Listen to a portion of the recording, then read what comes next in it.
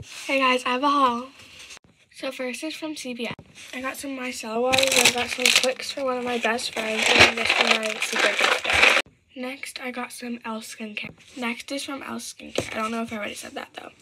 I got this fighting acne gel, this sunscreen, and then this moisturizer. Next is from Navy. So I got these running shorts for only $6. That's such a good deal. Then I got these pajama pants for like $10. And I got this for 21 It's the Align Pink Dupe and it's so pretty. Well, next is like my mom's clothes.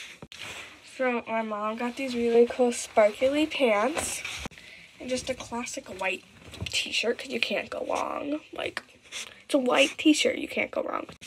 Then my sister got this like red bra and this like lined bra. That's really cute. Now I could be wrong, but I think my sister got this hoodie too. It was cash weekend, so yeah. Bye.